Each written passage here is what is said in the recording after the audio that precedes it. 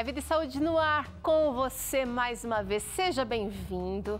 Vem pra cá porque hoje é dia de arrumação por aqui.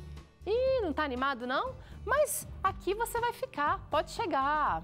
Ó, você já abriu a geladeira e encontrou aquela, aquele alimento, aquela feira que você fez no final de semana que você nem lembrava que estava mais lá? É, eu quero saber se isso acontece com uma certa frequência por aí. Acontece? Se sim, esse programa é pra você. E ó, já prepara seu tênis porque hoje tem fighting por aqui com Tânia Santos, que tá animada.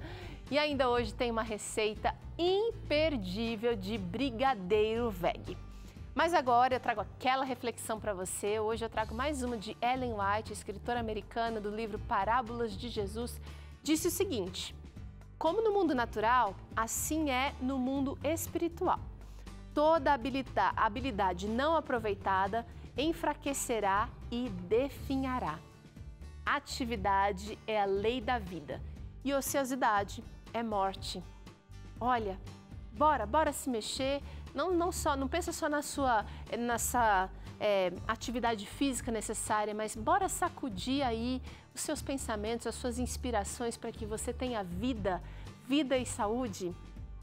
Pois é, a gente está junto com você. Vamos ali e voltamos em 30 segundos.